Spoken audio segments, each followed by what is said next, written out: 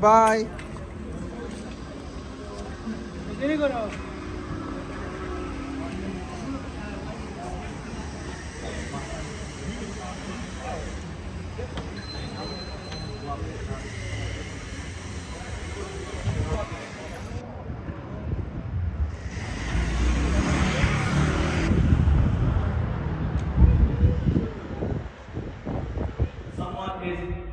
Related to them, that they can never be wrong, and that they, they should always be placed above the law. And this is a major sin. Allah subhanahu wa ta'ala says, يَا أَيُّهَا الَّذِينَ آمَنُوا كُونُوا قَوَّامِينَ بِالْقِسْطِ شُهَدَاء لِلَّهِ وَلَوْ عَلَى أَنفُسِكُمْ أَوِ الْوَالِدَيْنِ وَالْأَقْرَبِينَ Allah says, oh you believe, be just.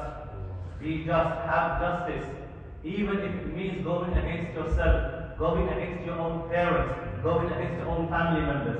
So we have to be in between these two extremes. May Allah subhanahu wa ta'ala give us all the tawfiq.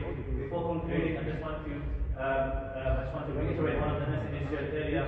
So many of you have seen আপনাদের কথা বললাম sir বহুত বিষয় আছে আমরা কিন্তু বিষয় আছে আর আমরা বিষয় মানুষের নাই নাই বহুত তার ধুলাবলি না এখানে করিলাম এগুলো যদি মূল্য যদি রাখতে আল্লাহ বেরো তে হিগা আপনারে দিতে হবে ওইরকম ঠিক মতো সম্ভব বুঝলেন লাগি এগুলো আল্লাহর দিন আল্লাহর দিন তো খালি চূড়া তসবি জানি দিতে তো আমরা ওই আল্লাহ লাগে আনি অথবা আল্লাহ আল্লাহ দিতে তো করিব আল্লাহর একটা দিন এখানে এবং দিন শব্দের অর্থ হইতে পায়